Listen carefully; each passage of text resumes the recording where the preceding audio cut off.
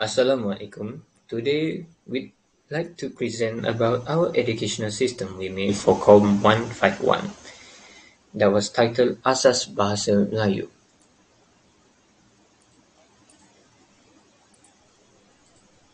Our project is about the Malaysian language or Bahasa Melayu, which is our own national language.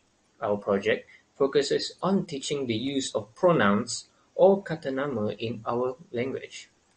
The objective of our project is to attract kids and children to be more interested in reading books using the resource we show in terms of themes, colors, and more in our system.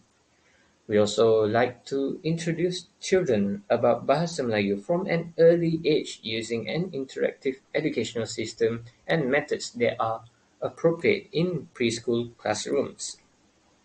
Our target audience is children in kindergartens and preschools, as our design and idea we come up with are based on pastel colors, cute animal pictures, and pictures of kids.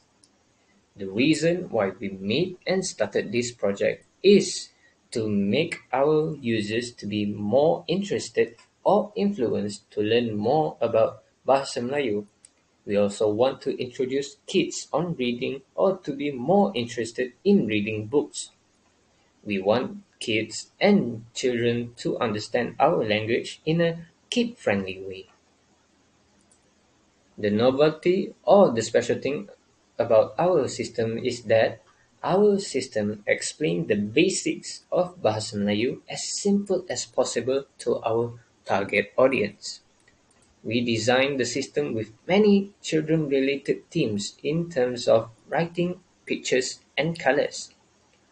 We also write and arrange our sentences so it will be easy for them to understand and learn. We also arrange the pictures so they will look more organized and will not confuse or distract our users.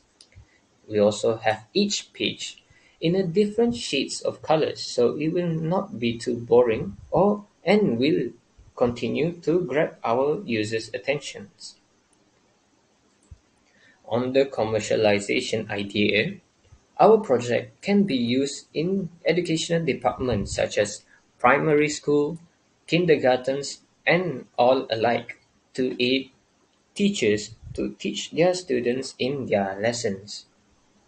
In addition, we can promote or commercialize our product in bookstores and even in an e-book platform related to education to further develop the marketing of our system. So that's all for today. We'd like to thank you for hearing our presentation.